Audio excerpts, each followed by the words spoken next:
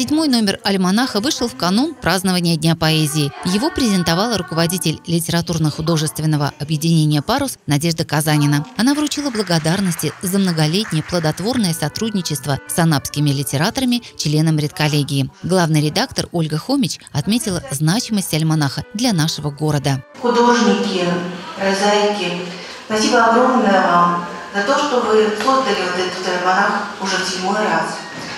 Концепция альманаха в том, что печатаются здесь исключительно произведения авторов города Анапы и Анапского района.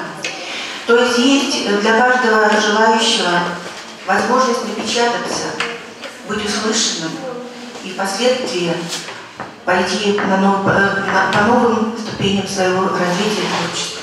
Ярким моментом презентации стало выступление вокального ансамбля «Радость» под руководством Людмилы Куликовой из Центра детского творчества. Дети исполнили песни, написанные анапскими авторами.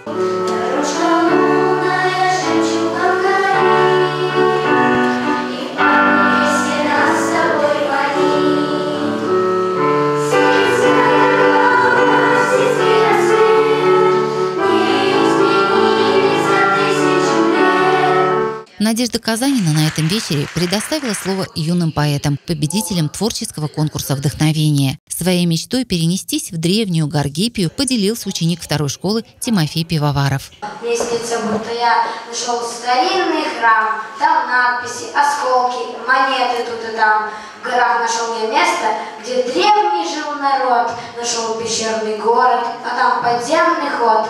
Бывает, помечтаю, как я в огромной льдине нашел останки мамонта, отправился в пустыню.